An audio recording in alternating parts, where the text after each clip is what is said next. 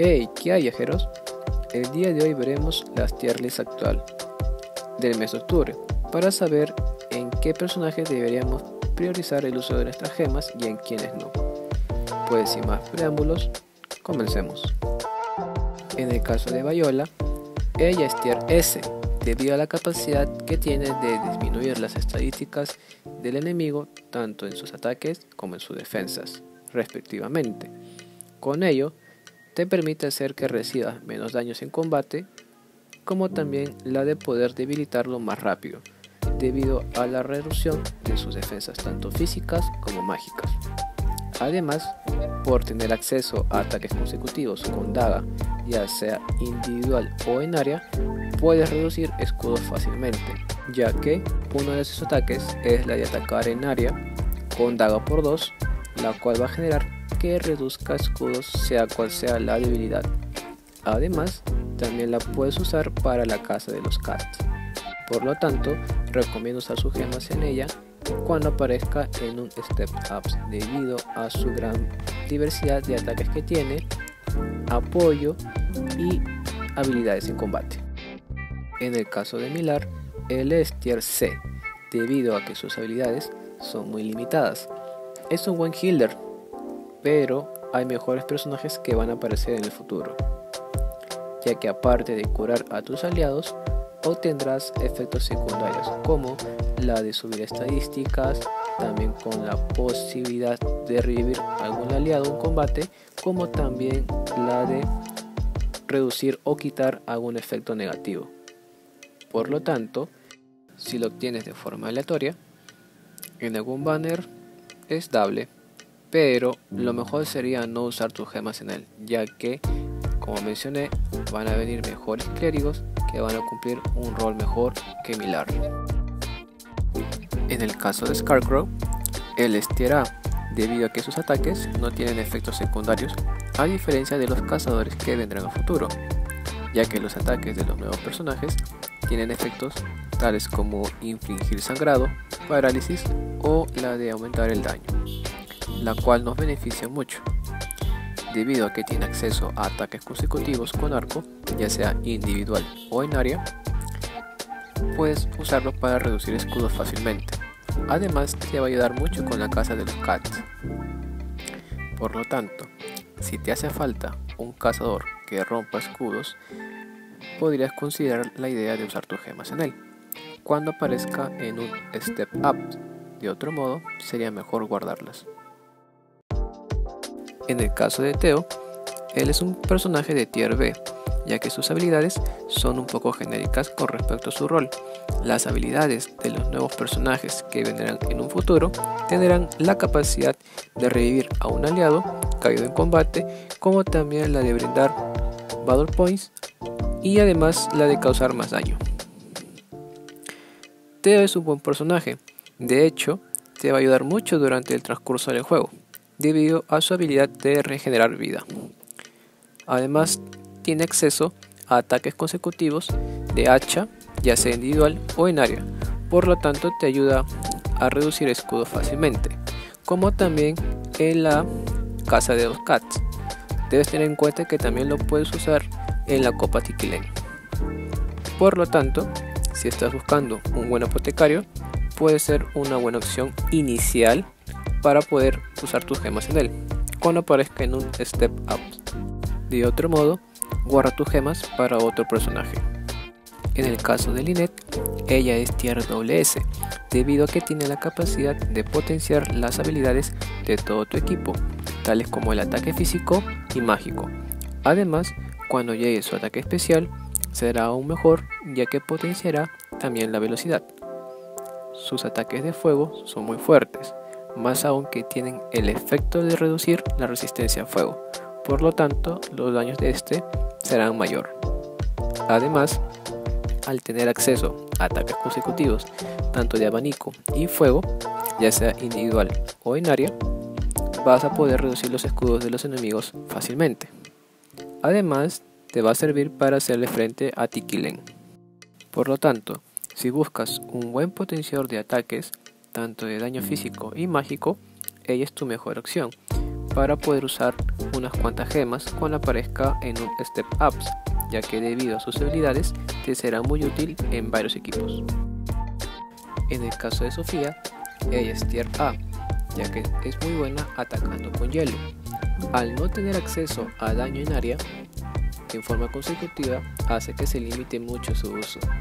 Los otros magos que vendrán a futuro tienen acceso a magia, tanto con más potencia como también a ataques consecutivos de hielo. Por lo tanto, es un buen personaje, pero los personajes como mencioné antes que vendrán a futuro serán más fuertes y con más uso en combate. Por lo tanto, si lo obtienes de forma aleatoria en algún banner, te va a servir mucho, pero lo mejor es no intentar usar unas gemas en ella. En el caso que lo tengas como personaje, la vas a poder usar en la Barking Cup, que se viene en noviembre. En el caso de Fiore, ella es tier A, debido a sus grandes estadísticas que posee, pero no las suficientes para ser una tier S. Personajes que vendrán en un futuro tendrán acceso a daño con espada por 4 o por 5, ya sea individual o en área por lo que ella se queda un poco por detrás. Al tener acceso a ataques consecutivos de espada, ya sea individual o en área, reducirá los escudos del enemigo fácilmente. Además, te va a ayudar mucho con la casa de los cats. También la vas a poder usar en la Glosson Cup que se viene próximamente. Por lo tanto, si no tienes un buen espadachín, Fiore sería una buena opción a usar por lo tanto podrías considerar usar unas cuantas gemas en su Step Up cuando llegue. De otra forma, lo mejor sería guardarlas, ya que vendrán mejores personajes en un futuro. En el caso de Gilderoy, él es C, debido a que es muy lento con respecto a su velocidad y no tiene ningún ataque de prioridad como en el caso de Teresa, el cual vamos a tocar después. Él destaca por su defensa física y mágica y su gran cantidad de HP, pero sus ataques son muy genéricos. El hecho de solo atacar dos veces es muy poco, por así decirlo. En el futuro van a venir mercaderes con más ataques, no solamente eh, de lanza, sino que también con otros adicionales. Por lo tanto, es un buen tanque, eso lo reconozco, ya que aguanta mucho, pero lo malo es su velocidad. Lo recomendable es no usar gemas en él, ya que vendrán mejores mercaderes a futuro. Si en el caso lo tienes, pues te va a servir mucho tanto para soportar daño como también lo vas a poder usar en la Glosson Cup que se viene próximamente. En el caso de Teresa, ella es tier A debido a que sus habilidades son muy buenas. De todas ellas, la que más destaca es su ataque con prioridad por 3, ya que hace que siempre ataque primero. También el tener acceso a evadir ataques físicos la hace intocable en combate. También el hecho de contar con la habilidad de donar Battle Points la hace muy versátil en varios equipos. Su habilidad de mofa hace que sus aliados ganen ataque físico en función de las cargas que ella utilizó, por lo que convierte su ocasión en la mejor, ya que ella puede aguantar puede evadir los daños que recibe mientras tu equipo se encarga de atacar con más potencia. Por lo tanto, ella es un buen personaje, debido a la gran diversidad de habilidades que posee. Si tienes una gran cantidad de gemas ahorradas, podrías considerar la opción de usar unas cuantas en ella, en un Step Ups cuando ella aparezca. Además, la podrás usar para la Blossom Cup debido a sus ataques y habilidades. En el caso de Hitco, él es tier B, debido a sus habilidades que son muy genéricas para su clase. Con respecto a los nuevos personajes de la clase ladrón que aparecerán en un futuro, tendrán habilidades parecidas pero con efectos secundarios, como la de aumentar su daño, como también el crítico. Al tener acceso a ataques consecutivos de cuchillo, ya sea individual o en área, ayuda a reducir los escudos del enemigo fácilmente Ten en cuenta que sus ataques de él rompen cualquier escudo, sea cual sea la debilidad.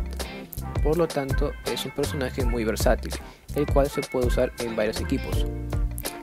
En donde más brilla Hitco es en la casa de los Cats, debido a que su ataque es de prioridad. Por lo tanto, siempre va a atacar primero, haciendo que los cats no huyan. Para abordar mayor el tema de los cats, haré una guía explicando la mejor manera de hacer el frente para evitar que se les escapen en combate. Por lo tanto, Hitco es un buen personaje, pero debido a que su ataque es un poco bajo comparado a los otros ladrones, pues no es tan prioritario que uses tus gemas en él. Digamos que si estás considerando la opción de buscar un personaje que te ayude a farmear cats, sí es la mejor opción. De otra forma, lo mejor es que ahorres tus gemas. Además, ten en cuenta que puedes usarlo en la Glosson Cup debido a que sus habilidades son muy buenas. Rose es tier S, ya que tiene la capacidad de potenciar las habilidades de todo tu equipo, tanto en el daño físico, mágico y la velocidad. Por lo tanto, será de mucha utilidad.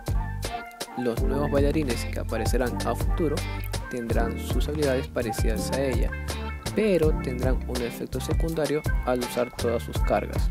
Sus ataques de oscuridad y abanico son muy útiles, ya que te van a ayudar mucho a reducir los escudos rápidamente, como también la de reducir la resistencia, tanto física como mágica, de tus enemigos, como también la resistencia a la oscuridad. Por lo tanto, si buscas un potenciador de ataque físico y mágico, ella es tu mejor opción. Por lo tanto, si buscas un potenciador de ataque físico, mágico y de velocidad, ella es tu mejor opción.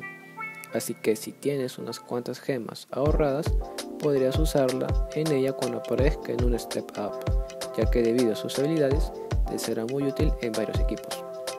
Además, te va a servir mucho para hacerle frente a Tiki En el caso de Terese, ella es tier A, ya que es una muy buena atacante de magia de electricidad. Ella cumple un gran rol en este caso, pero le hace falta más daño, por lo tanto eso hace que se limite mucho en combate. Los otros magos que vendrán a futuro tienen acceso a magia con electricidad, pero con más potencia, además de ataques consecutivos, con efectos secundarios. Terese es como la contraparte de Sofía, ya que la diferencia de estas dos es que Teresa usa magia de, electricidad, en cambio Sofía usa magia de hielo. Por lo tanto, ella es un buen personaje, pero lo mejor sería no intentar gastar gemas en ella. Lo mejor es usarlas en un buen mago, como el caso de Cyrus, que va a tener acceso a magia de electricidad, fuego y hielo, tanto de en área como individual en el caso la tengas como personaje, te va a servir mucho para hacerle frente a Tikile. En el caso de Coure, él es tier B, debido a que su ataque físico no es muy alto. Los personajes que usan espada que aparecerán en el futuro tendrán más daño como también ataque por 4, ya sea de forma individual como en área. Con respecto a sus habilidades, él tiende a hacer más daño del habitual cuando sus enemigos no han hecho algún movimiento, como también si tienen más de 10 escudos. Debido a que tiene acceso a daños consecutivos, lo puedes usar para romper escudos de forma rápida, como también para cazar cats. Por lo tanto, no recomiendo usar sus gemas en él, ya que hay mejores opciones que aparecerán en el futuro. Si en el caso lo tienes, lo puedes usar en ciertas ocasiones. En el caso de Hasumi, ella es tier B, debido a que sus habilidades son muy buenas, pero hay ciertas cosas que la limitan. La habilidad que más destaca es la de recuperar SP, pero no es mucho, ya que solo recupera el 5% del SP total de cada personaje. El hecho de tener acceso a ataques de luz y abanico de forma consecutiva la hace muy buena para romper escudos. Pero la diferencia de los personajes que usan abanico a futuro es que sus ataques tienen efectos secundarios y en el caso de Hasumi no es el caso. Además, esos ataques te van a ayudar a poder aumentar las estadísticas de todos tus aliados.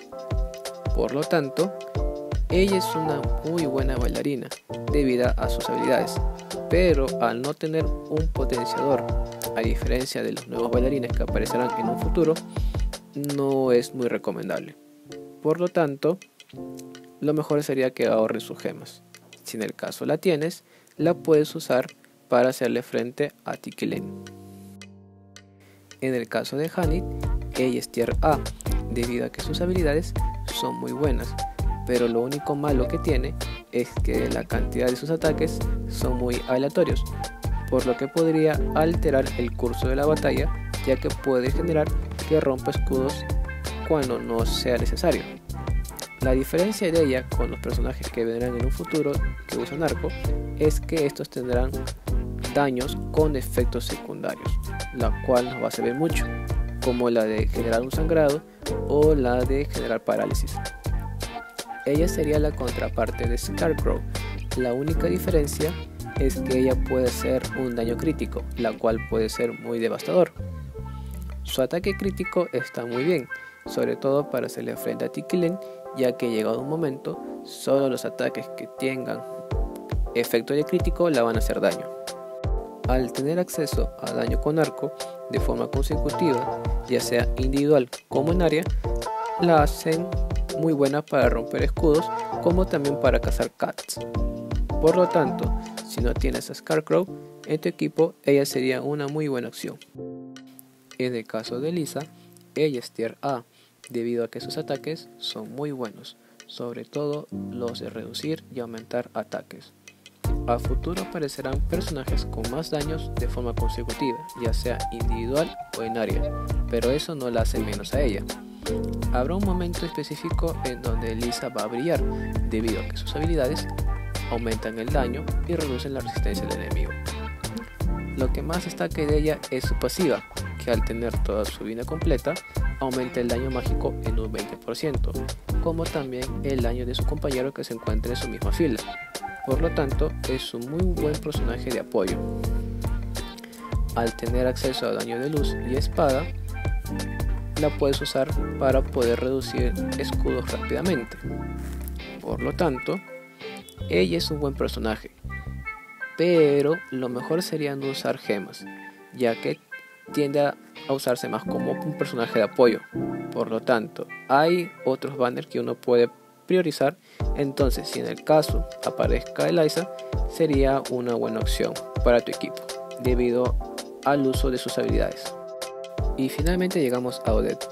Ella es tier S, debido a que posee las estadísticas más altas con respecto al daño mágico con los hechizos de viento y luz. Ella es como tener dos personajes en uno, ya que puedes cambiar sus habilidades en función al enemigo que te enfrentes. Sus pasivas hacen que tenga bastante daño al iniciar la batalla, como también la posibilidad de ahorrar SP al momento de usar un segundo ataque. Al tener acceso a daño con viento y luz de forma consecutiva, ya sea individual o en área, puede reducir las defensas de los enemigos rápidamente. Por lo tanto, si buscas un personaje con bastante daño, también con la posibilidad de romper escudos, ella es tu mejor opción. La diferencia con los personajes de rango S que vendrán en un futuro es que van a cubrir otros elementos, como el caso de Cyrus, que es considerado el mejor personaje por ser un de rango S, ya que tiene acceso a daño de hielo, fuego y electricidad de forma individual como en área. En el caso de Lumis, ella es tier A, debido a que tiene muy buenos ataques. Sería la contraparte de Teo, y solo estaría por debajo de Alfin. La única diferencia por la cual se diferencia de Teo, o mejor dicho, ella es mejor que Teo, es por el hecho de que tiene acceso a daño con hacha por 4 veces y también a daño con viento 4 veces. Por otro lado, Teo solo tiene daño a electricidad. Pero, además de tener acceso a daño con hacha, también la puedes usar para curar y regenerar la vida de tus aliados en combate. Por lo tanto, si no tienes a Teo en tu equipo, ella es una muy buena opción, debido a sus grandes habilidades que tiene.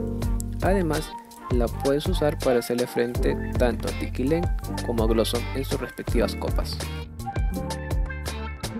En el caso de Sted, él es tier A, debido a que es un personaje muy versátil.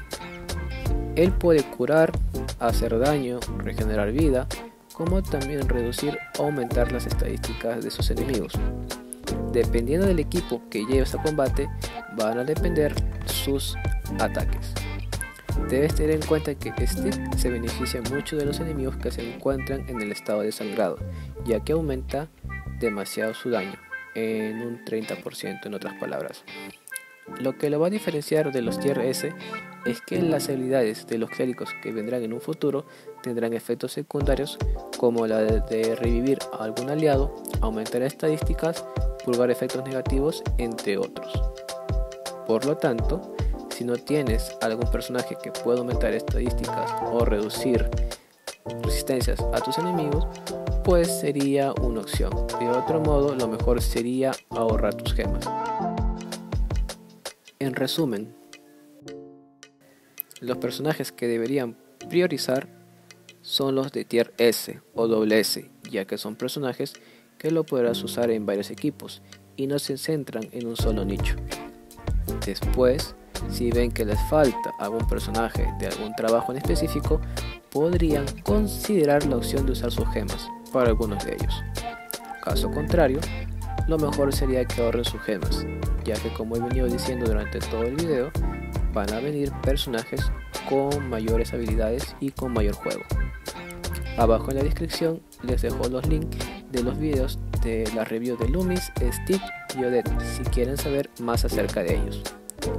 Próximamente estaré subiendo la review de Elvis como el video de la guía acerca de las Esper Hands. Nos vemos en otro video de Autopath Traveler. Bye. See ya.